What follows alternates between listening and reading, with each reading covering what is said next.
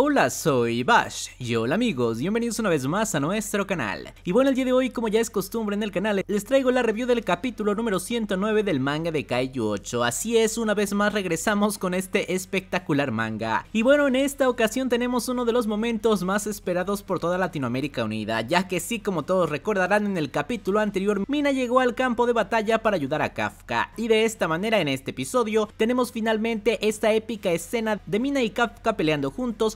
a un enemigo. La verdad es que es sencillamente épica. Obviamente habría esperado que la batalla realmente comenzara, pero aún así esta presentación es increíble, ya que sin duda alguna desde que ves la escena en el opening del anime estás esperando que este momento ocurra y así es en este episodio 109 finalmente ha pasado, pero bueno ya estaremos platicando y analizando todo lo ocurrido en este episodio, así que sin nada más por añadir, comencemos una vez. Y bueno precisamente antes de continuar con el campo de batalla pasamos con un pequeño flashback donde se nos va a resaltar una vez más la infancia de Kafka y Mina, ya que de primera instancia se nos lanza la pregunta, ¿qué clase de futuro imagina en su corazón? De esta forma observamos cómo la pequeña Mina le pregunta a Kafka qué tipo de soldado quiere ser, a lo que Kafka comienza a pensar y después responde, quiero llevar un traje de combate súper genial y tener la mejor liberación de poder de la historia al 99%, y bueno Kafka te comento que Hoshina ya llegó al 100%, así que esa no sería la mejor. Pero bueno, de cualquier forma, Kafka también menciona que quiere ser un gran espadachín y el mejor usando armas de fuego. Así es, Kafka quiere ser el mejor soldado de la historia. Además de mencionar que quiere matar a 10.000 kaijus por lo menos, y que lo voten como el capitán más popular por 10 años consecutivos. De esta manera, con una mirada incrédula, observamos cómo Mina le responde, o sea, ¿te imaginas siendo el capitán más fuerte? Eres solo un niño. Obviamente este comentario hace molestar a Kafka, el cual pregunta a Mina qué hay de ella, es decir, qué tipo de soldado quiere ser. A lo que Mina bastante segura de sí misma responde, yo quiero salvar muchas vidas, tropas, civiles, mascotas, no quiero que nadie muera cuando yo lidere una misión, ese es el tipo de soldado que quiero ser. De esta forma, Kafka al escuchar las palabras de Mina también se toma un poco la ligera este comentario, diciendo que nadie muera, eso no es realista. A lo que Mina se molesta diciendo, precisamente tú no hables sobre ser realista, Kafka, obviamente molestándose bastante. Pero en este momento al escuchar las palabras de Mina, Kafka le responde, hagamos lo posible, nosotros dos podemos hacer lo posible, mientras le muestra su clásica sonrisa a Mina y observamos el objetivo que ambos se habían planteado, es decir, luchar lado a lado como los soldados más fuertes de la tropa y sin dejar que nadie muera. De esta forma pasamos al campo de batalla real donde Kafka está haciendo esa misma sonrisa mientras se nos lanza la pregunta, ¿es la imagen con la que soñaron aquel día al mirarse? Así es, básicamente lo que se nos pregunta es si esta reunión que se ha dado en el campo de batalla es exactamente con la que soñaron en su niñez. Ya que ahora sí regresamos a la realidad, debido a que como recordaremos, cuando Kafka se encontraba completamente contra las cuerdas enfrentando al Kaiju 9, de repente tuvimos la épica aparición de Mina para salvarlo en el último momento. Y ahora sí observamos cómo ella camina lentamente hacia Kafka mientras ambos se paran lado a lado. Así es, ya de principio vamos teniendo esta escena. De esta forma observamos como el Kaiju 8 quiere hablar con Mina, pero esta rápidamente le dice mentiroso, lo cual deja un poco asustado a Kafka, a lo que Mina continúa diciendo, dijiste que me alcanzarías pronto, pensaba que nunca vendrías. Así es, básicamente en este momento, finalmente Mina confirma que Kafka ha cumplido su promesa y la ha logrado alcanzar en el campo de batalla, aunque como ella comenta al parecer ha tardado demasiado. De esta manera vemos como Kafka responde, lo siento, a lo que Mina le sigue reclamando,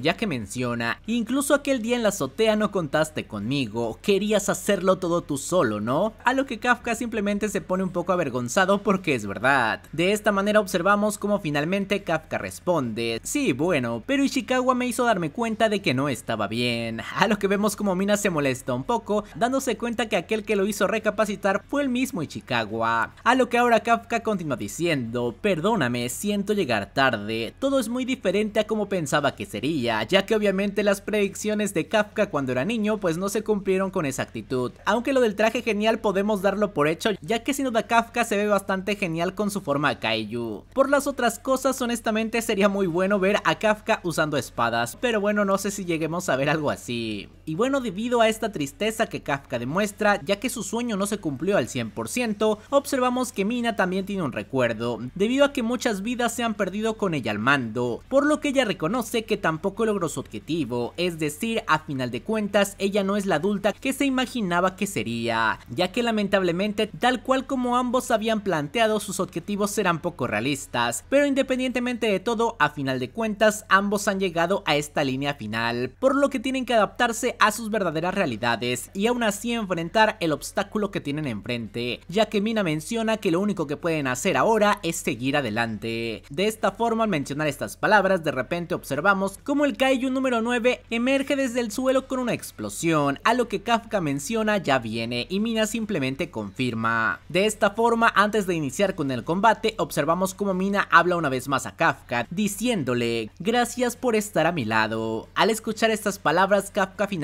tiene algunos recuerdos de su niñez, mientras comienza a decir, no conseguí el 99% de liberación de poder, ni soy el mejor espadachín, ni tampoco el mejor con las armas de fuego, no pude cumplir mis sueños de niño, pero me queda una cosa, recordando la promesa que le hizo a Mina, la cual decía, y cuando eso ocurra yo estaré a tu lado. Así es, a pesar de no poder cumplir todos sus otros objetivos, hay uno que sí puede lograr, y eso es estar al lado de Mina y pelear contra el enemigo que tienen enfrente. De esta forma Mina le dice a Kafka vamos, a lo que este simplemente responde que sí, y en su mente simplemente repite, la promesa que te hice, juntos acabaremos con todos los kaijus. En ese momento vemos la viñeta más espectacular del episodio, ya que sí como dije es la escena del opening, Kafka y Mina parados uno al lado del otro mientras enfrente se encuentra el más grande rival que se ha enfrentado la humanidad, es decir, el Kaiju número 9 fusionado con el Kaiju número 2, una absoluta locura. De esta forma el capítulo termina con la frase es el momento de cumplir su promesa. Así es sin duda alguna este momento es completamente glorioso y la verdad es que me deja bastante tenso porque yo ya quería ver el inicio del combate que creo que va a ser algo bastante genial, pero bueno ya hablaremos de eso en un momento, debido a que primero que nada quiero hablar con respecto a este encuentro, ya que como se menciona, este era uno de los momentos más importantes en la historia de Kaiju 8, debido a que finalmente la promesa con la que todo comenzó y la cual es la motivación principal de nuestro protagonista, es decir, pelear lado a lado con su amiga de la infancia Mina, se ha cumplido. Aunque es bastante curioso que tal como se representa en este episodio, ninguno de los dos pudo cumplir el objetivo que tenían en la niñez, tanto Kafka con el soldado que quería convertirse y Mina no pudo salvar a todos tal como lo había prometido. Independientemente de todo como lo mencionan, lo único que sí pueden cumplir es esto, pelear uno al lado del otro, lo cual es sencillamente espectacular. Y bueno, hablando hacia el futuro de la pelea, la verdad es que también ese objetivo de Mina me llama muchísimo la atención, es decir, esa referencia que quiere salvar a todos y que a final de cuentas esto no siempre es posible, ya que sí, esto me huele a que algún personaje importante podría morir, pero honestamente no creo que tengan el valor de matar a Mina, ya que eso sería completamente devastador, y por otro lado Kafka pues tampoco va a morir, tal vez podría sacrificar su humanidad, que es algo de lo cual ya se está hablando desde hace mucho tiempo, pero que alguien muera honestamente lo veo difícil, a menos de que llegue algún refuerzo por ahí y ese muera, pero de estos dos lo dudo mucho honestamente. Y bueno, por otro lado, como dije, me muero de ganas de ver cómo va a ser el combate a partir de ahora. Sabemos que Kafka en un principio podía seguir el ritmo cuerpo a cuerpo contra este Kaiju, aunque utilizando la técnica de combate Hoshina. Lamentablemente, como sabemos, el Kaiju 9 se adapta demasiado rápido a todas las técnicas, por lo que está claro que muy pronto se va a adaptar a las técnicas de Hoshina y bueno, a partir de ahí no sé qué es lo que Kafka va a hacer. Obviamente la clave de todo sería la combinación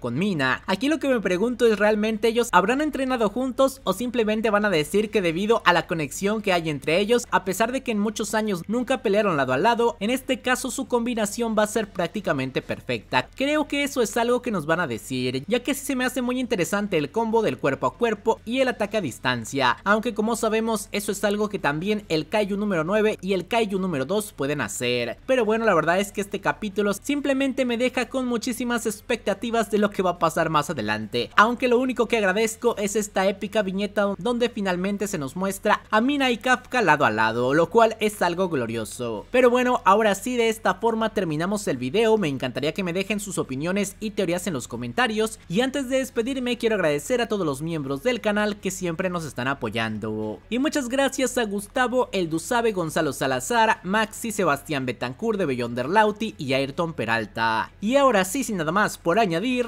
Adiós.